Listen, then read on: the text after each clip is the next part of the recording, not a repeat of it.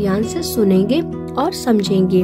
A refrigerator is a cabinet design to keep the food cold बच्चों, इसने बोला है यहाँ पर कि रेफ्रिजरेटर एक कैबिनेट है जिसको फ़ूड को ठंडा करने के लिए डिज़ाइन किया गया है।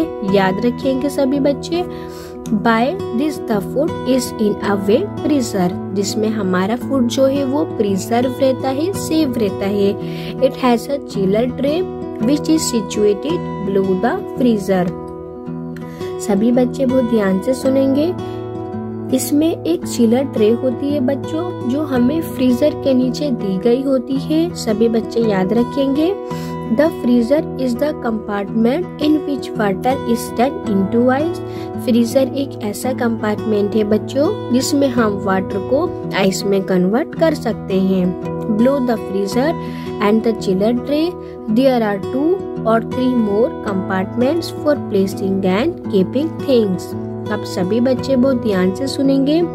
इसने यहाँ बोला है, किसमें इसमें चिलर ट्रे के साथ साथ बच्चों दो से तीन कंपार्टमेंट दे रखे होते हैं, जिसके अंदर हम अपने और भी थिंग्स को या सामान को रख सकते हैं। Below this is a basket for vegetables and fruits इसके साथ बच्चों, इसमें एक बास्केट भी दी गई होती है, जिसमें हम अपने वेजिटेबल्स और फ्रूट्स को इजली तरीके से रख सकते हैं। The door of the refrigerator also contain racks for holding bottles butter bread eggs etcetera अब सभी बच्चे बहुत ध्यान से सुनेंगे।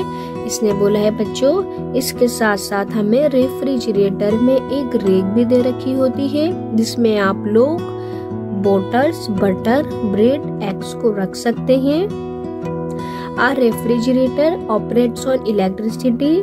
जो रेफ्रिजरेटर है बच्चों, वो इलेक्ट्रिसिटी की हेल्प से चलता है।